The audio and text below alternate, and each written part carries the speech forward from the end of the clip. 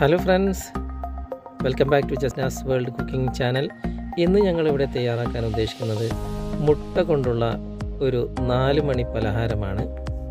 വീട്ടിൽ മുട്ടയുണ്ടെങ്കിൽ വളരെ എളുപ്പത്തിൽ നല്ല രുചികരമായ നാല് മണി പലഹാരം നമുക്ക് പെട്ടെന്ന് തന്നെ വീട്ടിൽ തയ്യാറാക്കാൻ സാധിക്കും. നമുക്ക് ഇത് എങ്ങനെ തയ്യാറാക്കാം എന്ന് നോക്കാം. അതിനുമുമ്പ് നിങ്ങൾ ഞങ്ങളുടെ വീഡിയോ ആദ്യമായിട്ടാണ് കാണുന്നതെങ്കിൽ വീഡിയോക്ക് താഴെ കാണുന്ന സബ്സ്ക്രൈബ് എന്ന ചുവന്ന അക്ഷരത്തിൽ ക്ലിക്ക് ചെയ്യുക. ശേഷം കാണുന്ന ബെല്ലൈക്കൺ ഒന്ന് പ്രസ് ചെയ്തതിനു ശേഷം ഓൾ എന്ന ഭാഗം സെലക്ട് ചെയ്യാം നമുക്ക് എങ്ങനെയാണ് ഇത് തയ്യാറാക്കുന്നതെന്ന് പരിചയപ്പെടാം.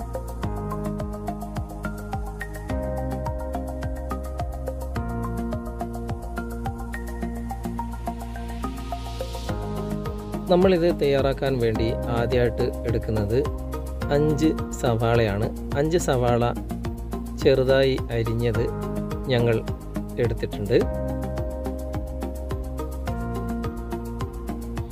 ഇതിലേക്ക് നമുക്ക് പാകത്തിനുള്ള ഉപ്പ് ചേർത്ത് കൊടുക്കാം. ഉപ്പ് ചേർത്ത് കൊടുത്തതിന് ശേഷം നന്നായിട്ട് ഇതുപോലെ മിക്സ് ചെയ്ത് കൊടുക്കുക. അതിനുശേഷം നമുക്ക് ഇതിലേക്ക് ഒരല്പം മല്ലിയില ചെറുതായി അരിഞ്ഞത് ചേർത്ത് കൊടുക്കാം. ഇനി ഇതിലേക്ക് നമ്മൾ ഒരല്പം വെളുത്തുള്ളി ചതച്ചത് കൂടി ചേർത്ത് കൊടുക്കുകയാണ്.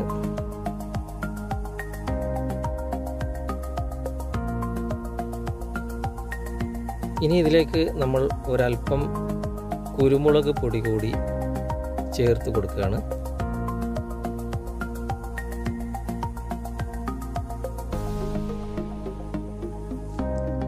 ഒരല്പം കറിവേപ്പില കൂടി നമുക്ക് ഇതിലേക്ക് ചേർത്ത് കൊടുക്കാം.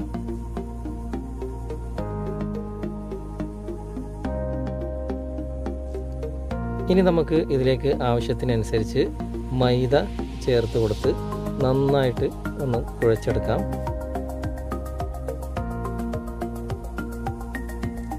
ഇതുപോലെ നന്നായിട്ട് മിക്സ് ചെയ്യുക.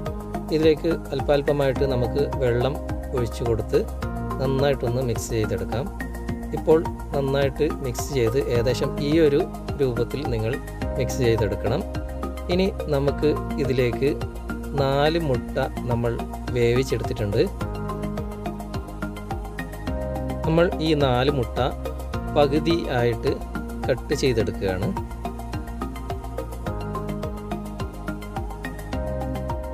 ഇതുപോലെ എല്ലാ മുട്ടയും പകുതിയായിട്ട് കട്ട് ചെയ്തെടുക്കുക. നിങ്ങൾക്ക് കൂടുതൽ പലഹാരം ആവശ്യമുണ്ടെങ്കിൽ കൂടുതൽ മുട്ട നിങ്ങൾക്ക് എടുക്കാവുന്നതാണ്. ഇനി നമുക്ക് ഇതൊന്ന് ഫ്രൈ ചെയ്തെടുക്കാം. അതിനായിട്ട് നമ്മളിപ്പോൾ ഒരു ഫ്രൈ പാനിൽ എണ്ണ ചൂടാക്കിയിട്ടുണ്ട്.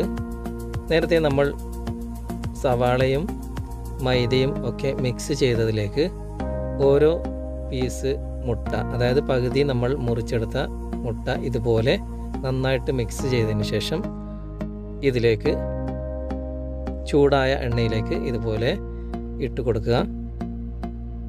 ചെറിയ ഫ്ലെയിമിൽ ലോ ഫ്ലെയിമിൽ വെച്ചാൽ മതി.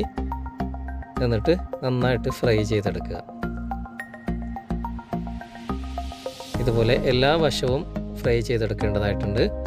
വളരെ സിമ്പിളായിട്ട് തന്നെ നമുക്ക് കുട്ടികൾക്ക് വേണ്ടിയിട്ടും നമുക്ക് വേണ്ടിയിട്ടും ഒക്കെ നാല് മണി പലഹാരമായിട്ട് നമുക്ക് വീട്ടിൽ തയ്യാറാക്കാൻ പറ്റുന്ന ഒരു കിടിലൻ റെസിപ്പിയാണ് ഇന്ന് നിങ്ങളുമായി പങ്കുവച്ചത്.